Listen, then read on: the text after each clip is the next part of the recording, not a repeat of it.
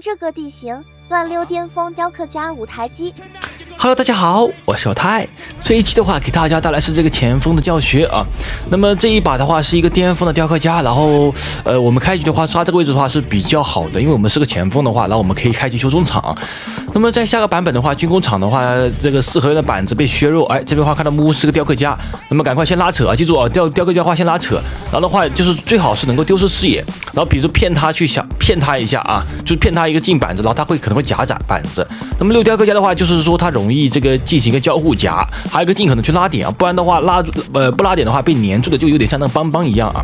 然后前面还没说完啊，这个四合院的话，四合院的板子会去掉两个板子，那么就非常难溜啊。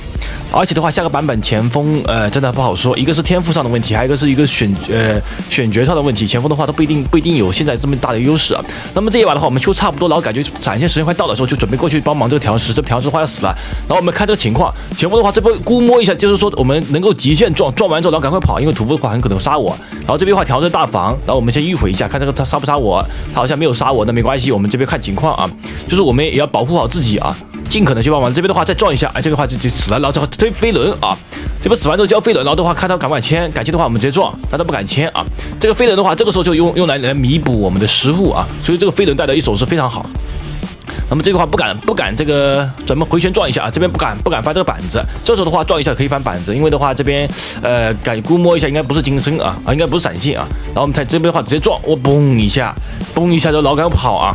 哎，这边话绕圈圈，哎，打我一刀，好的，没关系，我们再翻回来。然后这边的话让这个条子赶快走开啊，还在修机，快跑啊！我们这一把的话就利用这两个窗户啊，就利用这个大房来就开始遛鬼了。我们首先这个队友的话溜了一个半台机，溜的还可以啊，破箱了，但是没关系，我们这血量的话就一滴血。那么我们要躲，就是我们这边的话慢翻，这边的话有个细节，就是一个慢翻啊，慢翻干嘛？就是说他在心跳范围内他不会爆点，他就不知道我翻了这个窗户，他就不敢去夹这个窗户，知道吧？所以这个慢翻的我们这个意义在这里啊，就是说有个有个非常好的用处在这里。看到没有？他没有夹这个交互点。如果说他他一般来讲的话，听到听到嘟的一声爆点，那么他就夹你，你知道，就预判你的夹那个翻完之后一个位置啊。然后我们这边话，呃，躲完雕像，躲完雕像之后，然后我们这边的话躲一下，然后直接下板就不要他不要省了。呃，这一把的话电机应该是够的啊，就是说电机是够的，所以的话我们就尽可能就多拖一会儿时间，就在大房这边待着。大房的话还没有地下室是非常好的。如果说有这个地下室的话，就呃我们就不一定在这里在这里待着啊，或者说尽尽可能不要死在这儿，因为我们没有这个搏命啊。那么我们这句话屠屠夫传送走了丢坟场，然后再回来，我不知道屠夫到底什么意思，干嘛呀？他想把我骗出去是吧？不好意思，我今天就待在这儿啊，我就待在这儿。然后我们继续跟你玩窗户，哎，这边话玩不了，那我们盖一下板子，然后躲下雕像，哎，躲夹夹夹，好，没关系，拉点小球，哎，翻过来，然后的话直接下板，他急了啊，这边的话雕刻家出了一刀空刀急了，那么没关系，我们再跟他玩窗户，然后的话飞轮就快好了，哎，这边的话不小心慢翻了，那没关系，再翻回来。